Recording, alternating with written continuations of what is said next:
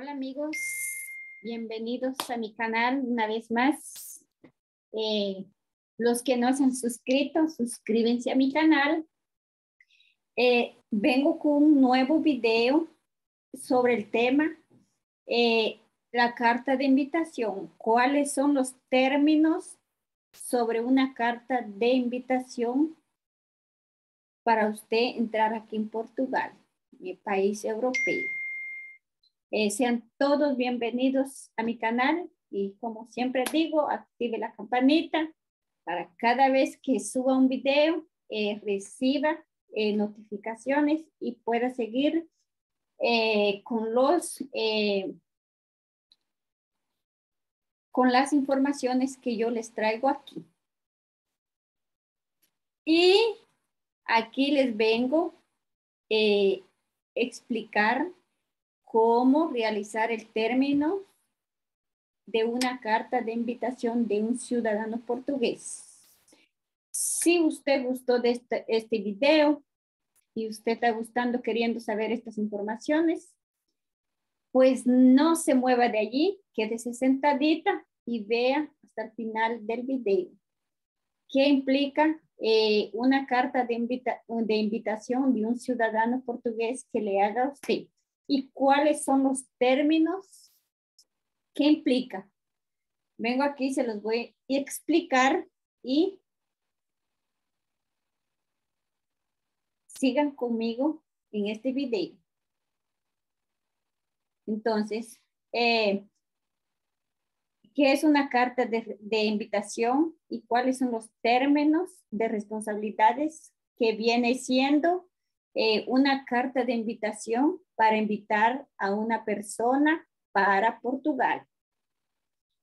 Si eres de las personas que estás que está buscando este tipo de contenido, quédese a ver este video hasta el final. Acompáñeme hasta el final de este video y dele me gusta y suscríbase a mi canal.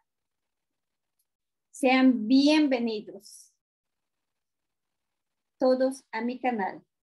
Y si aún no se ha suscrito a mi canal, dale aquí abajo, suscribirse y activa la campanita de notificaciones para cada vez que yo haga un video, le avise. YouTube le avise cada vez que suba un nuevo video. ¿De acuerdo? Espero que a usted le guste estas informaciones eh, que yo le voy a pasar. Eh, en este video les voy a hablar y les voy a explicar eh, paso a paso de cómo realizar una carta de invitación que aquí en Portugal se le llama términos de responsabilidad. cuando ustedes deciden traer a un familiar o un amigo y quieren hacerlo mediante una carta de invitación que viene siendo el, el término de responsabilidades, eh, tienen que seguir un cierto protocolo. Eh, ¿Cuáles? Les voy a explicar. Eh, el cual les voy a explicar y cabe de destacar que cuando uno emite una carta de invitación para una persona que va a ingresar al territorio portugués, está asumiendo una responsabilidad, por lo cual es algo bien delicado y se debe tomar en cuenta a la persona que se le va a emitir este documento oficial, ya que todo que esta persona realice en el territorio portugués, que es aquí en Portugal, es responsabilidad de quien firma esta carta por determinado tiempo. Eh, les explicaré todo el procedimiento para que usted para que ustedes mismos realicen el trámite.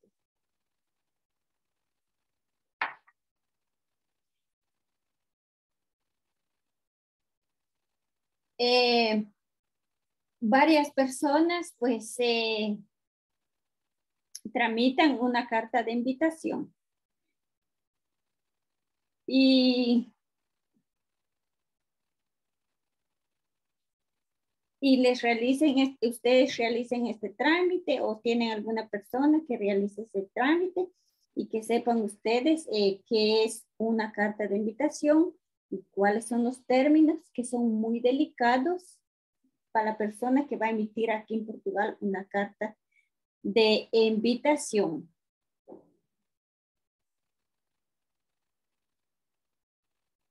Eh, entonces, eh, hacer una carta de invitación eh, es un tema muy delicado. Tiene que ser cuando ustedes van a realizar una carta de invitación para un amigo, un familiar, tienen que llenar un formulario y van a entrar del servicio de extranjeros fronterizos.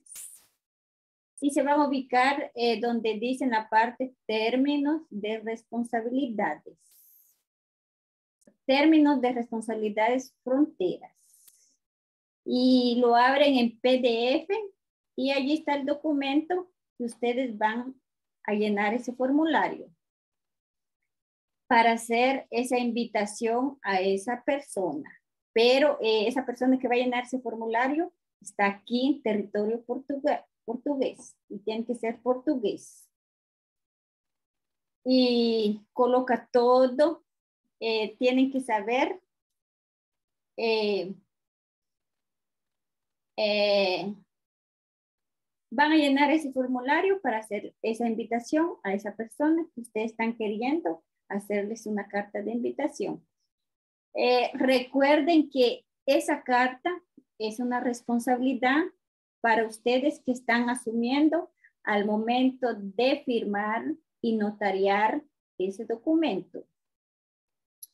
Eh, van a colocar el nombre de la persona que está haciendo la invitación, la fecha de nacimiento, el país de nacimiento, eh, residente en Portugal, la dirección donde ustedes viven aquí en Portugal, el código postal de aquí de Portugal, de donde ustedes viven, de esa dirección y van a colocar el número o ya sea el título de residencia, autorización de residencia o cartón de ciudadano si es portugués IBI, y si es portugués, si tiene eh, alguno de esos documentos, va a colocar el número en ese formulario también.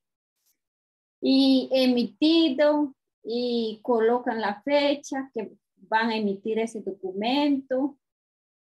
Y allí les aparece cuando ya es título de residencia, eh, ya, ya, les dice eh, CEF de Puerto, CEF de Lisboa, CEF de Combra, eh, CEF de Estuba. Eh, ustedes colocan dependiendo la ciudad donde ustedes están y donde está siendo emitido ese documento. Y hasta qué fecha tiene validez ese documento. Y allí ustedes también van a colocar y dice que declaran y asuman y compromiso de asegurar las condiciones de entrar en el territorio nacional y también la responsabilidad de el, pago de las despensas, de todos los gastos que tenga esa persona. Eh, ustedes van a colocar todo eso y van a colocar el nombre de la persona, que están invitando, la nacionalidad de esa persona que están invitando, lo van a colocar en el formulario, el número de pasaporte también, eh, la fecha que está siendo emitido ese documento y hasta cuándo tiene validez ese pasaporte. Eh, allí en esa página, en ese formulario, tiene todos los términos y condiciones que especifica toda la especifica eh, toda la responsabilidad que tiene, que tiene y cuando se emita ese documento para invitar a una persona a Portugal. Ustedes van a colocar la ciudad, la fecha y van a firmar y luego lo van a llevar en el catorio notarial para que les certifique la firma de ustedes con sus documentos para que tenga validez en inmigración. Después que ustedes ya llenaron ese formulario que yo les dije, colocan todo, la, la, la, la, la, eh, lleven llevarlo al catorio notarial, el cual les va a certificar la firma de la persona que está emitiendo ese documento. El catorio notarial eh, les va a emitir eh, un documento de reconocimiento eh,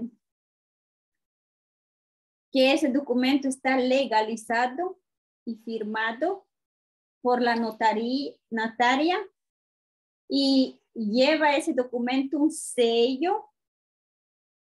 Eh, aquí en Portugal no se usan mucho los sellos húmedos. Más que todos son sellos eh, como libres. Si ustedes realizan este trámite eh, con, con, un abogado, ustedes tendrán que pagar claro, si la persona es ciudadano portugués y les quiere hacer una carta de, de invitación. Pero, como les expliqué cómo realizar el trámite, eh, cómo llenar el formulario, para que ustedes, eh, para que ustedes mismos lo hagan. Si ustedes no pueden, tendrán que pagar pero eh, la carta de invitación debe de ser de un ciudadano portugués. ¿Ok? Entonces, eh, en mi caso, eh, yo pagué por ese trámite que es por todos los trámites y, y, es un trámite pues que uno tiene que hacer cuando súper sencillo, cuando uno hace, hacen una carta de, de invitación y uno mismo pues lo puede realizar. Eh, ustedes en una notaría, los trámites lo pueden realizar en el momento y ellos hacen el reconocimiento de firma y entregan el documento enseguida. En otras notarías pueden tardar un día, dos días, tres días, eh, hasta una semana, dos semanas. Eh, eso va a depender de la ciudad donde usted vive. Si vive en Lisboa, en Braga, el puerto, otros, otros lugares. Todo depende de la ciudad donde usted vive y donde usted realiza ese trámite también. Eh, otra pregunta muy frecuente que, las, que me han realizado en relación a este trámite es, es eh, si es eh, traducir el documento. Eh, personas que han usado ese documento para ingresar o entrar en España. Se lo han aceptado sin ningún problema, estando en portugués, así que no es necesario traducirla en español. Puede ser en portugués la carta de invitación. Entonces, eh, yo quise hacerle este video para aclararle eh, las dudas eh, a muchas personas también que me han preguntado, me han dicho como una carta, como una carta de invitación de un ciudadano portugués. Y por eso mismo yo dije, voy a hacer un video y les voy a explicar en el momento que ustedes me preguntan este video ya está en mi canal en YouTube, lo pueden ir a ver. Y si alguna cosa, eh, déjenmelo saber en los comentarios, eh, denle me gusta, comparte para que comparte mi canal eh, para que muchas personas eh, tengan beneficios de estas informaciones que yo vengo colocando eh, en mi canal. Entonces, sean todos bienvenidos y,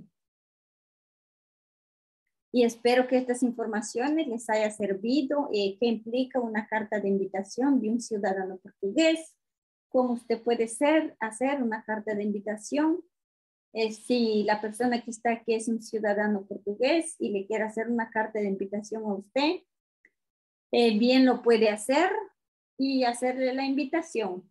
¿Cuáles son las implicaciones que implica una carta de invitación también? ¿Ok? Solo para que usted sepa y tenga en cuenta eh, que es una carta de invitación y cómo se llena ese formulario. es fácil. Ahora si la persona no sabe que aunque sea si es ciudadano portugués, tendrá que ser un abogado. Entonces, espero que estas informaciones les haya gustado y muchas bendiciones y hasta el próximo video.